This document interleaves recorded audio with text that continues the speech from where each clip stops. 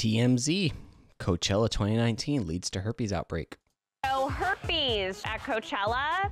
We spoke to the people over at Herp Alert, which is a treatment and diagnosis website for the STD, and they said that they saw a massive spike in herpes during Coachella weekend one. I like the person behind her.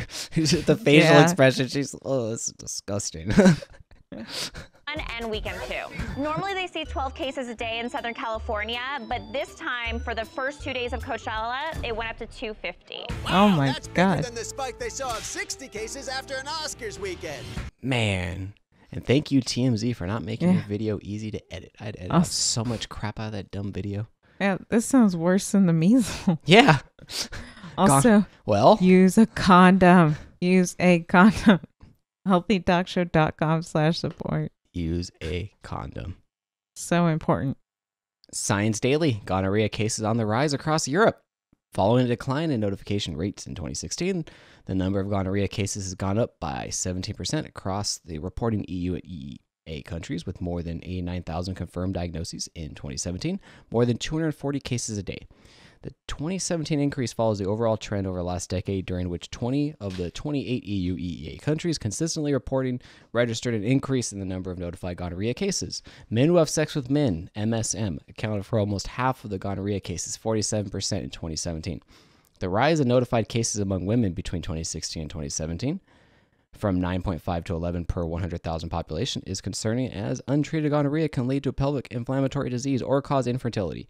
Rates of reported gonorrhea infection vary considerably across Europe from below 1 to 75 cases per 100,000 population, with higher rates in Northern Europe. While this variation could be linked to real differences in incident and gynecological gynecological infection, they are likely influenced by different testing policies and methods, healthcare systems, and access to services, as well as reporting and surveillance system structures.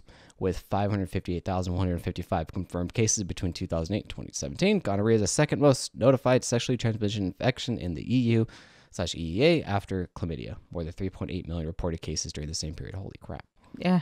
Also note that stat. I'll say it again. Men who have sex with men, that was 47%. So guys, even though you can't get pregnant, you got to protect yourself.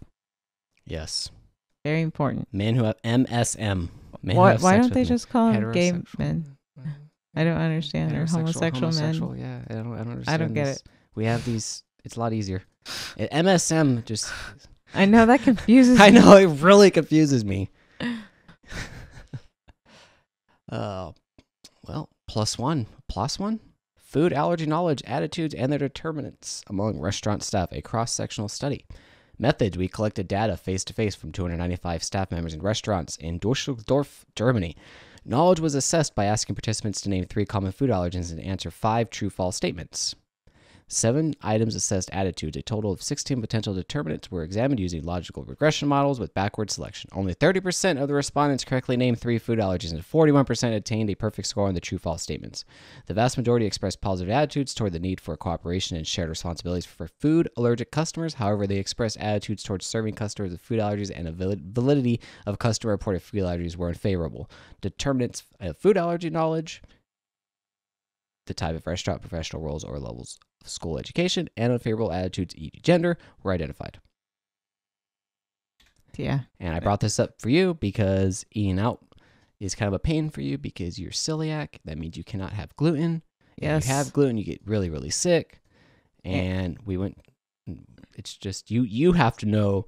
You have to ask the ingredients specifically, which is the hardest part because Yeah. people don't want to give you ingredients. I know. And I wish people could just list out the ingredients Mhm. openly. Uh, I will say Souplantation does a really good job for the most part of listing allergies, but a lot of people are allergic and Yeah. it'd just be nice to advertise more, especially we we have friends with avocado allergy, Mm-hmm. fish allergies. Well, I remember when we went to Klatch Coffee in Rancho Cucamonga Oh, because that used to be my spot, and I used to always get the patio special, and it lists a few ingredients and it says their secret ingredient. I Yeah. wanted to know what that secret. When you tried to order it and you were saying, "No, I'm celiac. I'll get sick if I eat gluten. Yeah. Can you please tell me the And she kept she telling said, me it's well, gluten free. It's gluten free. It's gluten free. What are the ingredients? No, what are the what's the secret ingredient? She said, Yeah. well, Oreos are gluten free, aren't they? No, they're not. but thank you for telling me what the secret bad. ingredient is. It's it's Oreos. So Klatch Yeah. Coffee. I know your secret ingredient. Oreos. Oh, there's another time I remember when I went to this Thai restaurant I got super sick, even though they told me I got the gluten free Mhm. pad Thai or something. Yeah. So, Yep. but luckily, I think since a lot of people do have uh, allergies, people are at least slowly becoming more aware. So, Yep. Science Daily again. Elderberry compounds could help minimize flu symptoms, study suggests. Anti influenza activity of elderberry by a group of chemical and biomolecular engineering researchers from the University of Sydney's Faculty of Engineering and IT has determined exactly how a popular ancient remedy, the elderberry fruit, can help fight against influenza. The researchers used commercially farmed elderberries, which were turned into juice serum and applied to cells before, during, and after they had been infected with the influenza virus. The photo, oh, excuse me, phytochemicals from the elderberry juice were shown to be effective at stopping the virus infecting cells. However, to the surprise of the researchers, they were even more effective at inhibiting viral propagation at later stages of the influenza cycle when the cells have already been infected with the virus. The team also found that elderberry's antiviral activity can be attributed to its anthocyan cyanidin compounds, phytonutrients responsible for giving the fruit's vivid purple coloring. The black elderberry is a small antioxidant rich fruit common in Europe and North America and is still commonly consumed in jam or wine. For medical benefits, elderberry extract is available commercially in tablet or serum form. I don't think I've ever had elderberry, I don't think so either. but I always like when these old wives' tales are kind of proven true by scientific studies. Yep. An elderberry.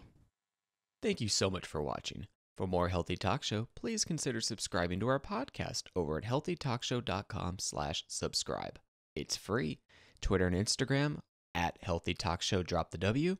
We record the podcast live Mondays at 8 p.m. Pacific Standard Time over at healthytalkshow.com slash live.